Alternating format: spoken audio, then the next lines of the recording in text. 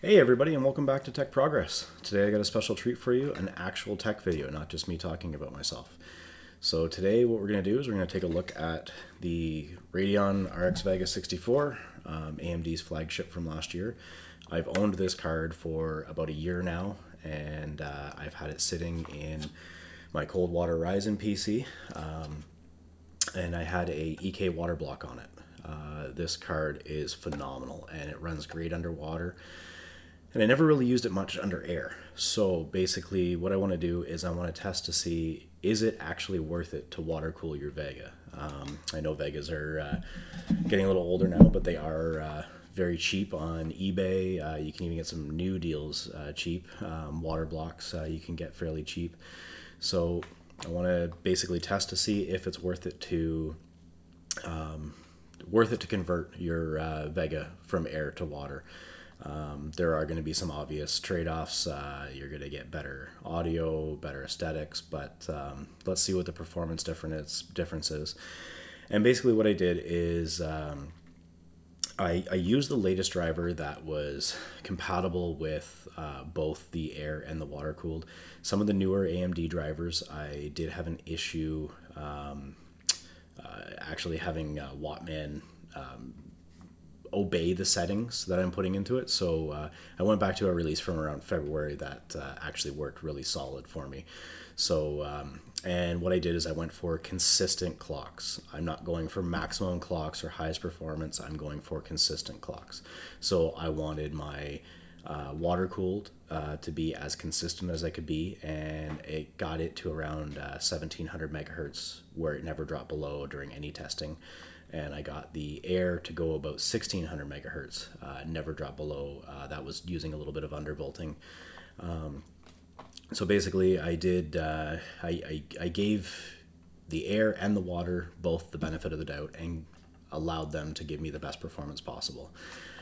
So basically, what I'm going to do is. Uh, I, I did not take any video of the EK water block installed in the machine. Um, but what I did do is I, I did record when I removed it. I record the disassembly of the block. I record the reassembly with the air cooler. So you could use this as a guide for repasting your GPU. Um, if you have a, a, Vega 64 with a water block on it, you know, say you want to sell it and you want to uh, go back to air or something, uh, you can use this as a tutorial to go ahead and do that. Um, so, okay, let's get into it. So what I'm going to show you is I'm going to show you the teardown and reassembly of the card. I'm going to show you the um, uh, benchmarks uh, that uh, I took. I basically took a fire strike and a Time Spy on both. Um, I didn't have time to do a lot of benchmark testing on it, but I just want to get a general idea of the performance difference. Um, and I'll give you a sound test. Um, so basically, uh, I have three sound clips. One of them is of the PC, totally on water, including the Vega water block, silent. Then I have a sound clip of running full tilt, running uh, the Firestrike benchmark and then I have on uh, water, and you can hear the coil whine that is usually involved with the uh, EK water block on the Vega card, and then I have the Vega on air doing the same fire strike test, but you can hear the sound difference, uh, and believe me, it is a big difference. So anyway, let's get into it. I'll show you the uh, what I show you what I accomplished with this uh, testing, and uh, then we will. Uh, I'll come back and I'll give you a quick recap. So here you go. Enjoy.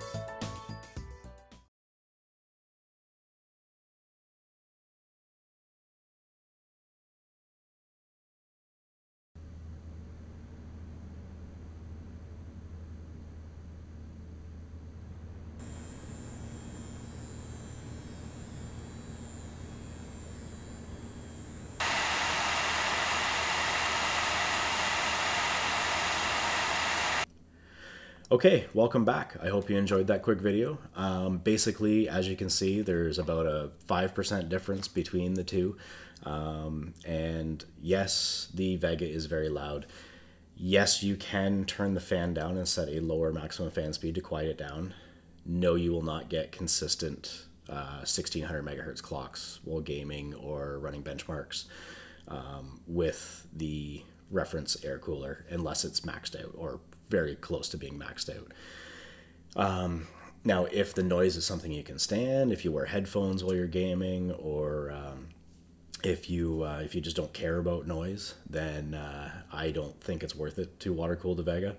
But um, after using it for a year, and someone like me, I can't stand noise. That's why I did build a water cooled PC.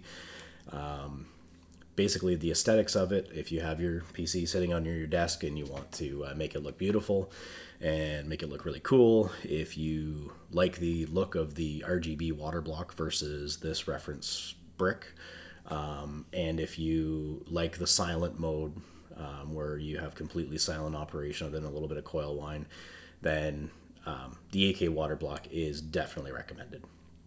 If your PC is um, like I say, if you don't care about noise, then you're not getting much of a performance gain out of Vega. You're getting a little bit more stable clocks. I did have it running at one point upwards of 1750 megahertz, 1100 on the memory, and uh, it was it was fairly stable that way. It did go down into the next power state um, sometimes uh, while gaming or benchmarking, but uh, it, it was rare.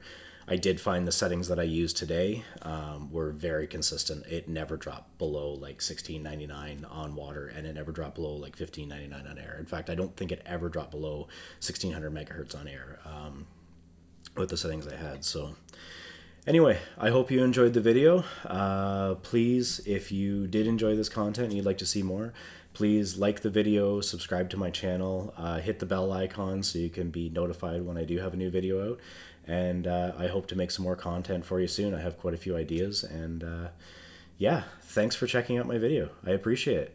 You guys uh, take care, and I'll see you in the next video.